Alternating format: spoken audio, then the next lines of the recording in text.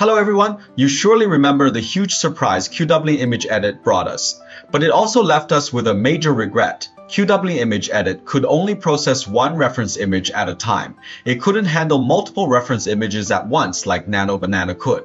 But now, that problem is completely solved. Just today, Alibaba released Qwen Image Edit Plus, which is the enhanced version of Qwen Image Edit. This model offers incredibly powerful image editing capabilities. For example, we can very easily create scenes with virtual characters showcasing products. We can also place specific people into designated scenes, enabling features like traditional virtual try-ons and much more. With support for these basic functions, a whole world of creative possibilities opens up. And there's another feature I absolutely have to mention. Qwen Image Edit Plus comes with built-in ControlNet functionality. Starting today, we can control character poses without needing any extra LoRA models. Hearing this, aren't you excited to try this model out for yourself? Shortly after the model was released, the open source community responded immediately. Even the official ComfyUI team added support for it today. We can open ComfyUI's official GitHub repository, and if you click on the commit list, you'll see that the ComfyUI team added support for the Qwen Image Edit Plus model earlier today. So if you want to use this model, you just need to update your ComfyUI to the latest version. The only other thing to do is download the model files. As you can see in the official ComfyUI Hugging Face model list, there are two slightly different models. Both models have a special number 2509, which of course refers to September 2025. The difference between these two models is the format. One is BF16 and the other is FP8. You can choose the model that best suits your computing power. I chose the FP8 version. As for the VAN text encoder, they are the same ones used by the original Qwen image edit, so you generally don't need to download them separately. I have also built the workflow on RunningHub. You can access this platform through RunningHub in the ComfyUI space. RunningHub is an excellent online platform because it is always the first to integrate new technologies as soon as they appear. You can use the invitation link in my video description to register for RunningHub and receive 1000 free credits. Additionally, you get 100 bonus credits for logging in daily, so you can experiment with your own workflows. Okay, next up, let's take a look at the workflow the basic structure of this workflow is almost identical to the one for Qwen Image Edit. The only difference is this node. This is a text encoder node. In the original Qwen Image Edit workflow, we used a text encode Qwen Image Edit node. Here, we are using the plus version, the enhanced one inside this node. You can see that in addition to the traditional inputs for the text encoder and VAE, we now have inputs for three reference images. Three images might seem like fewer than what models like Nano Banana or Seedream 4.0 offer, but it is generally sufficient for most of our needs. I won't go over the other parts of the workflow because they are identical to the previous Qwen image edit setup. However, I need to emphasize one thing, when using this workflow, try to avoid using acceleration LoRAs. In my multiple tests, I found that acceleration LoRAs can significantly degrade the quality of the generated images. Now, let's see what magical features the Plus version of Qwen Image Edit has to offer. We'll start with the feature everyone is most interested in, the built-in ControlNet. I am currently using two reference images. The first is a reference image of a person, a very beautiful Western woman. The second is a pose image. I don't have a ready-made pose image, so I used a regular picture and passed it through a node to extract the pose. This pose is then fed into our encoder node. Now pay close attention to the prompt. A very important feature here is that it supports prompts in both Chinese and English and can accurately recognize descriptions like image 1 and image 2. This makes the model incredibly convenient to use.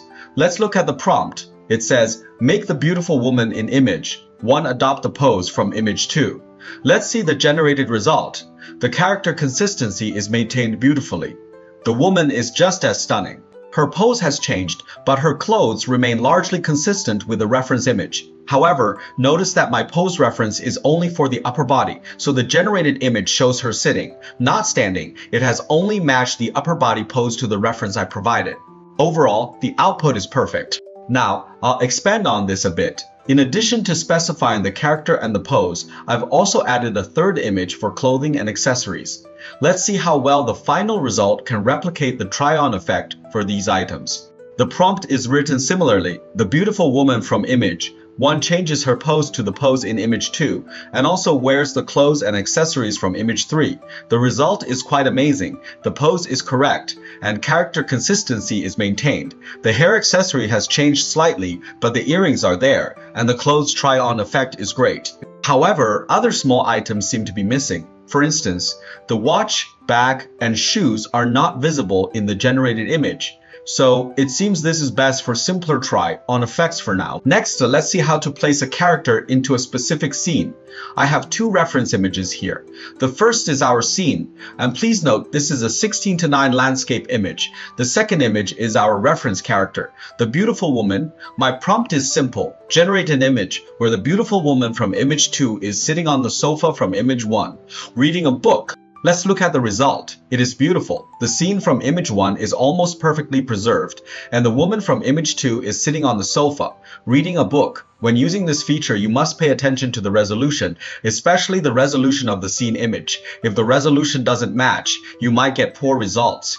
For example, what if my scene image isn't landscape but square, while my desired output resolution is 16 to 9? Look at the final result I got. The person is sitting on the sofa and the sofa's consistency is quite good. But notice the entire background scene is changed. Now, let's take this a step further. I now have three reference images. There are two characters, the woman we've been using and another woman from a magazine take note of her outfit. The scene image is the same. In the prompt, I simply specified that both characters should appear on the sofa, chatting with each other. Let's look at the result. The realistic texture seems slightly reduced, but the pose transfer is excellent. Character consistency is also well maintained, including their clothing. This is why I asked you to notice the second woman's outfit, not because it is revealing, but to show that after generation, you can see the consistency is preserved remarkably well. Next, uh, let's do a classic use case, product display. But today, our product is a bit bigger. We're going to create a beautiful woman with a luxury car scene. Note that the woman is the same one we've been using, and the car is a sports car in a landscape image. My prompt is, the beautiful woman from image 1 is standing on a beach, leaning against the sports car from image 2 in an elegant pose. Let's see the result. Look at the car's form, the character's form, and the overall environment. It is all rendered fantastically. Honestly, it is not any worse than Nano Banana. Now for something more complex, we'll use a more conventional product this time. Here is a woman, a blue and white porcelain bowl, and a living room scene. I changed the way I wrote the prompt slightly. Instead of saying the person in image 1 holding the bowl in image 2, I just wrote a woman holding a blue porcelain bowl in a living room scene. Look at the result. The living room scene has changed somewhat, but you can tell it was generated with reference to the original image. So this is a bit different from the placing a character in a scene operation. We did earlier, the environmental consistency is slightly lower. Finally, let's look at a very complex scenario. Why is it complex? Because everything we've discussed so far involves combining different types of objects. A person and a car, a person and a bag, a person and clothes. Here, we will have two objects of the same type people. We generally call this multi-person scene generation. Let's do an example. Here we have two people, a Japanese man and a Western woman. My prompt asks to generate a wedding photo where the groom wears a red traditional Chinese jacket and the bride wears an exquisite xiuhe suit with a golden phoenix crown. This prompt is actually from the official examples. Let's look at the result the overall composition is very nice, and the consistency of the male character is preserved. However, the consistency of the female character is completely lost. There is an underlying issue here placing a Western character into a traditional Chinese wedding scene and asking her to wear a xiuhe suit and a phoenix crown is, I think, a big challenge for the model.